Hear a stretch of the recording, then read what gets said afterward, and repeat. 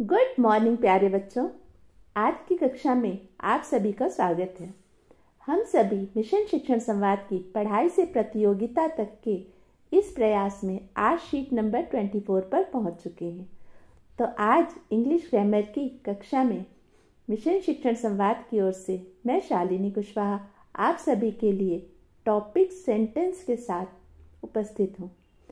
जिस प्रकार किसी भी कार्य को करने की पूर्व तैयारी की जाती है। उसी प्रकार हमने वो पूर्व तैयारी पहले ही कर ली है।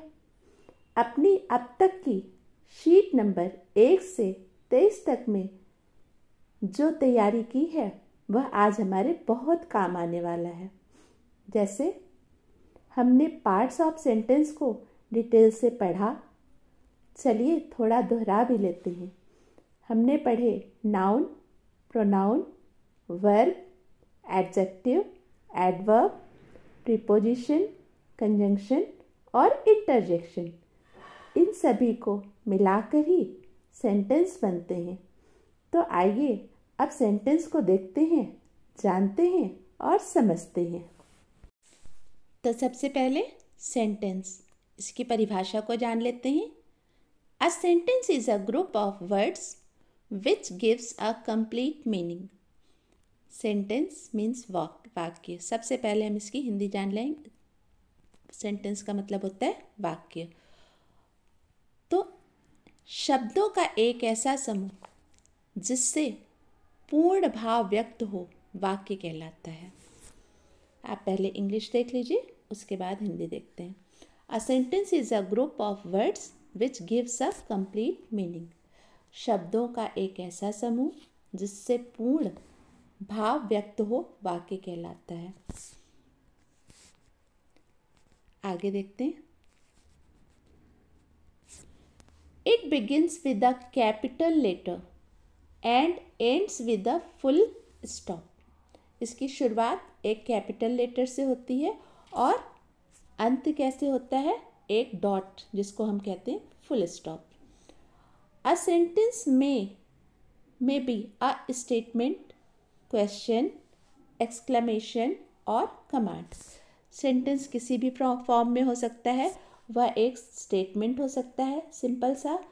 किसी के द्वारा पूछा गया प्रश्न या हमारे द्वारा किसी से पूछा गया प्रश्न.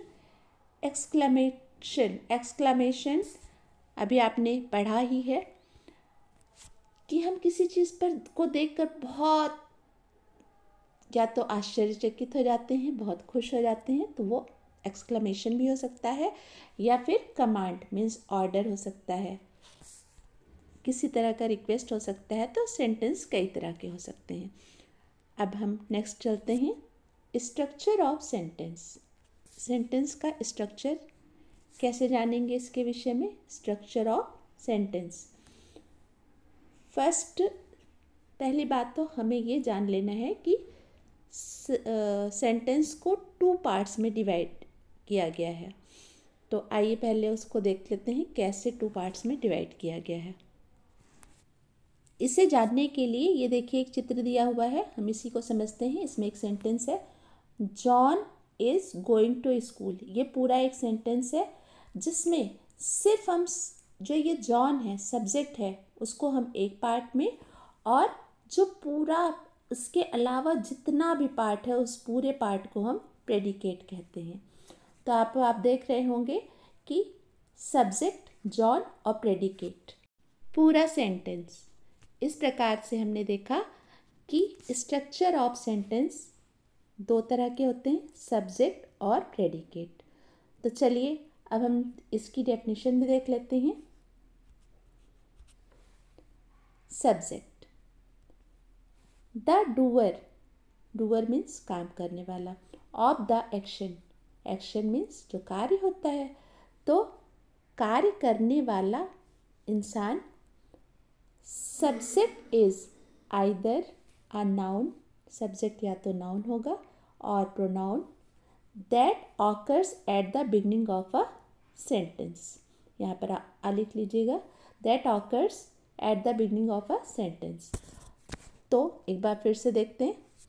Subject the doer of the action subject is either a noun or pronoun that occurs at the beginning of sentence. अब इसी प्रकार से हम प्रेडिकेट को ले लेंगे।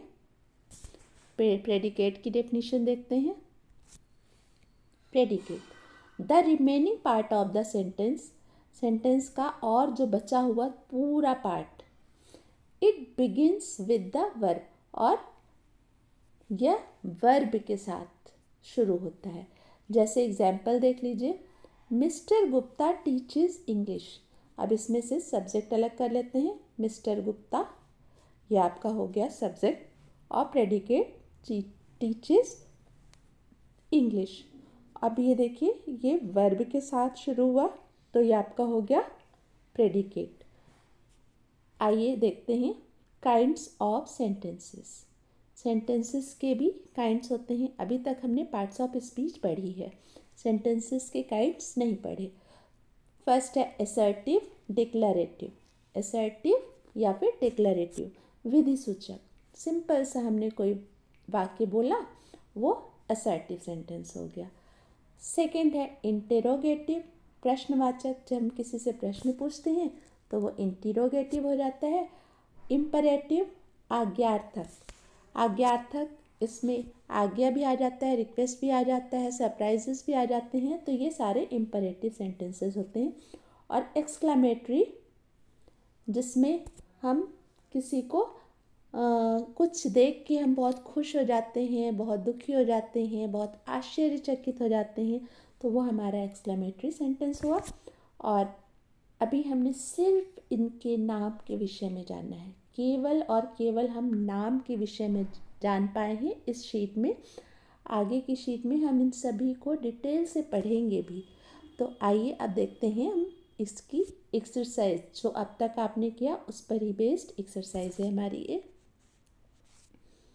Question number one the doer of the action is called the doer of the action is called noun pronoun both A and B तो A और बी दोनों होगा, क्योंकि बताया गया ना सब्जेक्ट या तो नाउन होता है या प्रोनाउन तो आपका यहाँ पर आंसर होगा C A and B question number two पर चलते हैं। प्रेडिकेट बिगिंस विद प्रेडिकेट किससे शुरू होता है? नाउन तो नहीं प्रोनाउन भी नहीं वर्ब यहाँ का भी आंसर आपका सी होगा verb next question number three a subject a subject comes in the beginning of the sentence in the middle of the sentence at the end of the sentence none of these तो subject तो सबसे पहले ही आता है तो यहाँ पर हमारा ए आंसर होगा इसके बाद हम नेक्स्ट आगे बढ़ते हैं क्वेश्चन नंबर फोर पर a sentence begins with a capital letter a small letter full stop exclamatory तो सेंटेंस तो हमेशा कैपिटल लेटर से शुरू होता है। आपका ए वाला, आपका ये सही आंसर होगा। How many types of sentences are there sentences कितने प्रकार के होते हैं? अभी हमने ऊपर पढ़ा फोर टाइप्स ऑफ़ सेंटेंसेस अभी देखिए, आपको दिखाती हूँ। ये देखिए फोर टाइप्स ऑफ़ सेंटेंसेस हमने पढ़े ना? यहाँ पर हम आंसर लगा देंगे फाइव का A, four types of sentences तो आज की आपकी जो कक्षा है, वो बहुत जल्दी समाप्त हो गई। आपके शीट में फिर से एक सुंदर सी कहानी कॉम्प्रिहेंशन के रूप में, और उन पर बेस्ड ये क्वेश्चन आंसर्स आपको कहानी पढ़नी है। क्वेश्चन आंस क्वेश्चंस के आंसर्स देने हैं। अपनी मैम से डिस्कस करना है, यदि आपको नहीं आता और आता है तो अपने दोस्तों के साथ डिस्कस कर लीजिए। और इस तरह से आपकी रीडिंग स्किल बहुत अच्छे से बढ़ेगी और हम सभी को बड़ी खुशी होगी। तो ये थी आपकी, आज की क्लास और अगली कक्षा में फिर से उपस्थित होंगे। तब तक के लिए बाय बाय, टेक केयर।